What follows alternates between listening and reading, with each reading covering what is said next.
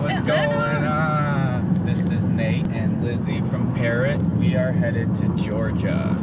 First stop is Amicalola Falls. Second stop is Atlanta.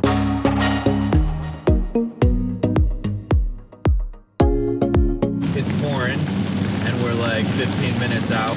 We're hoping the rain lets off.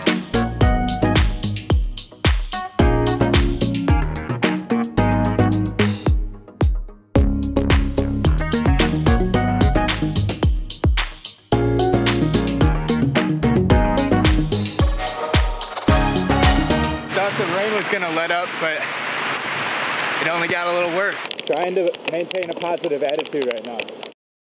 It's nice and wet, nice and soggy. As you can see, it started pouring It did not go as planned. and it didn't let up. It, it was a very big waterfall. It was nice. There is a nice view at the top. Uh, it's kind of hard to get a picture of the full falls from. Because there's like trees everywhere and it sort of turns, so like your view is blocked.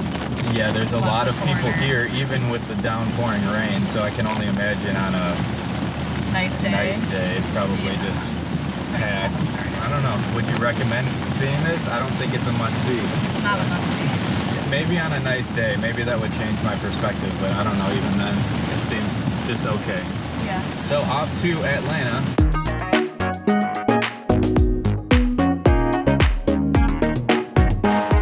So we just checked in the Hyatt.